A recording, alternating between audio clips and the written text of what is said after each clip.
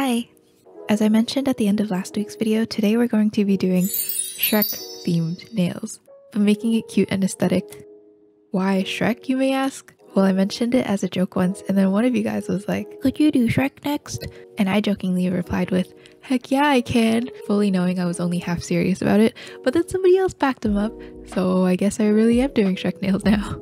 I've rewatched Shrek for like the third time this month, the first two were purely for entertainment, but the last one, the most recent one, was to study the art and to see what frames or scenes I could use from it. Shrek's swamp is actually so pretty if you're into cottagecore slash fairycore aesthetics. Like, look at this lighting and ambience. He's even got his own pond with lily pads, his own private washroom with hanging vines and crescent moon detailing, both of which I'm going to include in my nail art design by the way.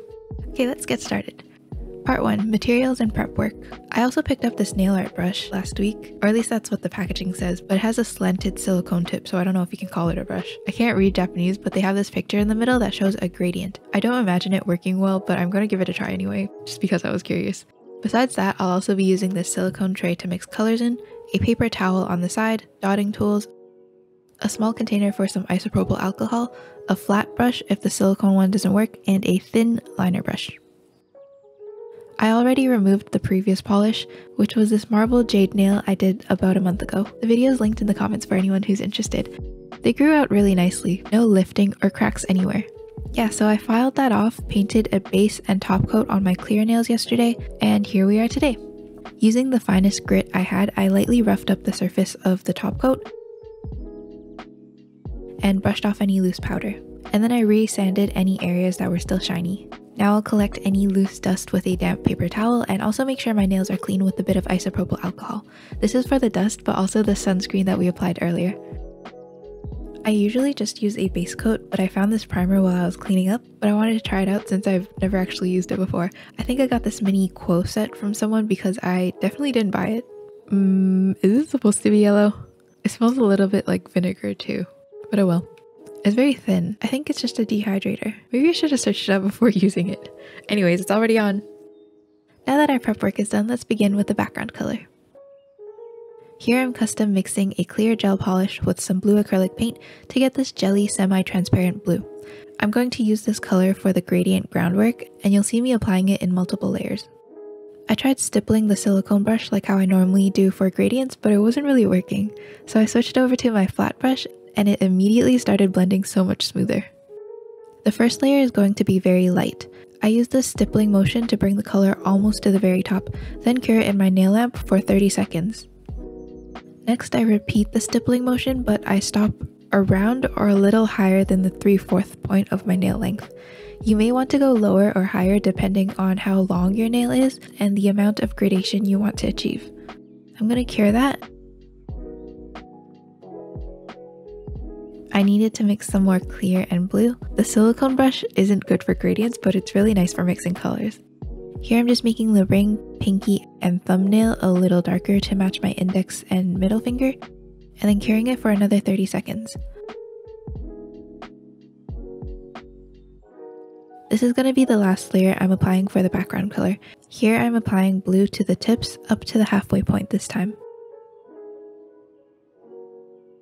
So I just went back and blended out the line when my brush was nearly dry and cured it for another 30 seconds. Apply a glossy top coat to smooth everything out and then cure it again for another 30 seconds. And we're done the background. So part 3 is going to be the decorations. I'll show you guys how I did my index finger then do the rest fast forwarded.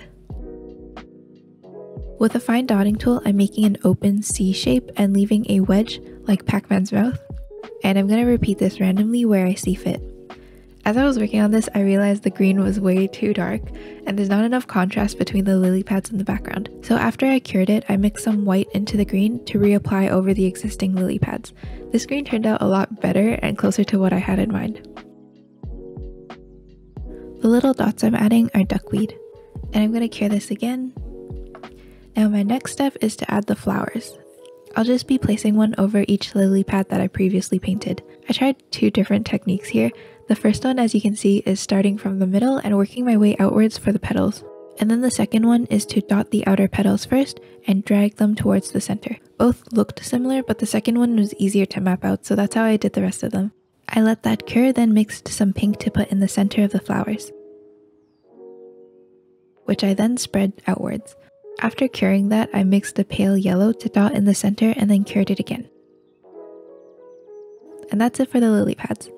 The last step to finish this up is to apply a thick top coat to seal everything in and smooth out some of the bumps. Yeah, so let's do the rest of my nails and then attempt the Shrek one. I decided to take inspiration from Shrek's outhouse and include the crescent moon with hanging vines on my ring finger as an accent nail. It brings more components from his swamp into the composition and also adds character along with that fairy tale esque theme I was going for. One thing I wish I'd done differently is to either make the yellow dot a little smaller or bring the pink gradient out further because right now you can't even see the pink and it just looks like oh beautiful water gradient, delightful lily pads, and oh such a wonderful sunny side up egg. On my thumb I'm going to attempt to paint this little cutie that I'll probably regret very soon. After mixing this mucus green, I made an outline of his body and filled it in with my fine tip brush.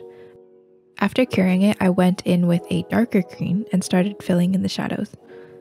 Then I thought he needed more shadows, so I mixed a dark green, almost black, and and it looks good at first, but this is where everything starts falling apart. I'm gonna fast forward the rest because it looks atrocious, and I redo it anyway.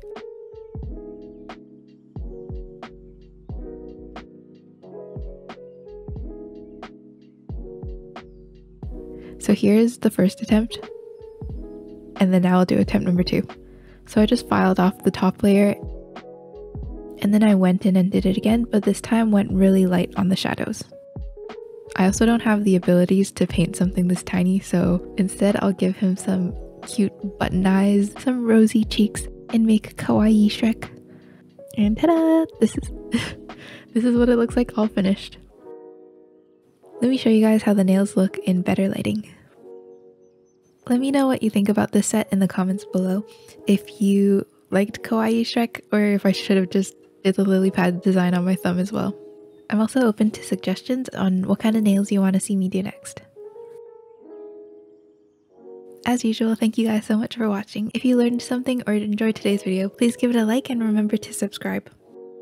Thank you. Bye.